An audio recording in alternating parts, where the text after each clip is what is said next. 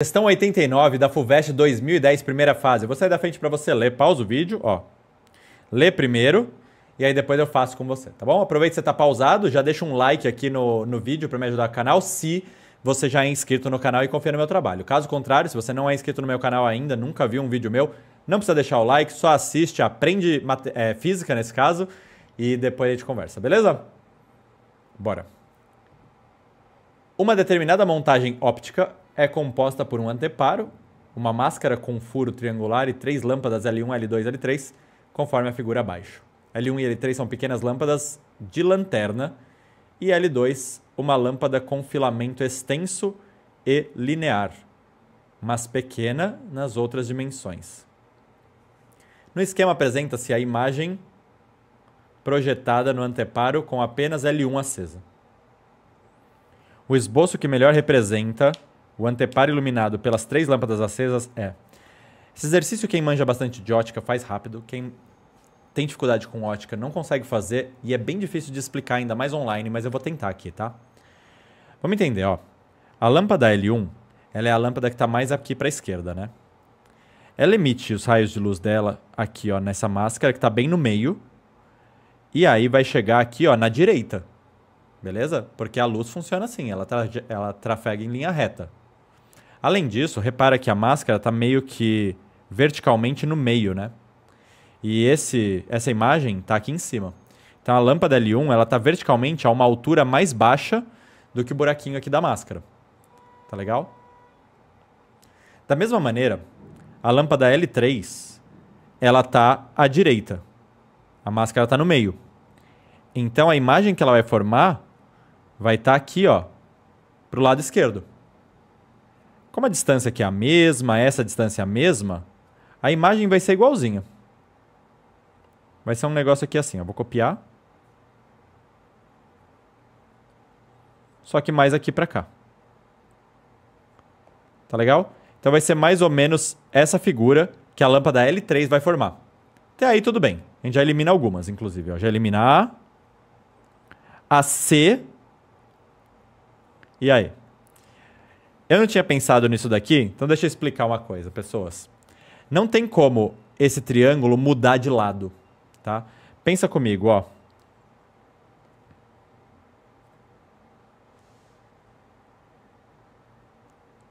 Fazer bem bonitinho. Tá aqui, ó. Finge que a luz vem daqui, tá? A luz que passa por esse ponto vai chegar aqui. A luz que passa por esse ponto, ó, vai chegar aqui. Tá bom? Mais ou menos, né? É tipo isso aí. E a luz que passa lá por cima, pelo ponto de cima, vai chegar aqui, ó. Tá, dando para enxergar? Vai criar uma figura semelhante, né? É tipo uma pirâmide, tá vendo? Ó? Tem essa base aqui, eu tenho essa base aqui. Uma figura semelhante, sem rotação e sem reflexão. Tá legal? Então ficou ali bonitinho. Aí vem a treta, que é essa lâmpada aqui. Essa é uma lâmpada extensa. Para poder te ajudar com isso daqui, eu vou fazer o seguinte: eu vou separar essa lâmpada extensa em dois pedaços. Esse ponto azul aqui embaixo e esse ponto vermelho aqui em cima. O ponto azul, calma aí, azul embaixo, se fosse uma lâmpada pontual, ele ia gerar uma imagem, ó, tá aqui no meio, certo? Teria gerar uma imagem aqui no meio também. A lâmpada que está à direita gera uma imagem na esquerda, a lâmpada que está na esquerda gera uma imagem à direita, e a lâmpada que está no meio gera uma imagem no meio. O ponto mais baixo aqui gera a imagem mais alta possível. Esse ponto mais alto ele vai gerar uma imagem um pouco mais baixa, mas na mesma horizontal. Mais ou menos assim. Tá legal? Ó. E esse aqui em cima. Tudo bem? E os outros pontos intermediários? Vou fazer de amarelo.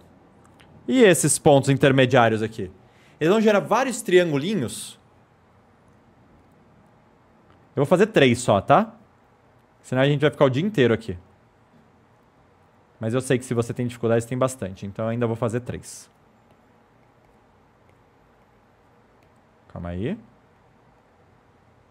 Um, dois, três. Os pontos amarelos, eles vão gerar os seguintes triangulinhos, ó. Esse ponto amarelo mais de baixo aqui, tá vendo? Ele vai gerar um triangulinho mais alto aqui assim, mais ou menos. Aí o próximo vai gerar um triangulinho mais ou menos aqui assim. O próximo vai gerar um triangulinho mais ou menos assim, ó.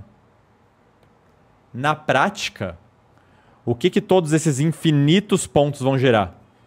Esses infinitos pontos vão gerar isso aqui, ó.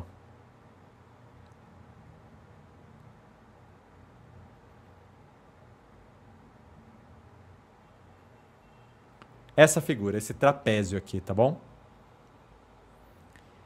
E isso elimina B e elimina só. Aí sobrou a D de dado. Tá bom? Eu sei que é difícil de enxergar esse exercício, mas eu espero que com a ajuda da tecnologia aqui tenha ficado um pouquinho mais fácil. Se esse vídeo foi útil, não esquece de deixar o seu like para me ajudar com o canal, compartilhar o canal com seus coleguinhas, tá bom? Já aproveita e se inscreve no canal e dá um peteleco no sininho para ser notificado das próximas lives. Sempre prazerzaço revê-los. Um beijo e até a próxima resolução.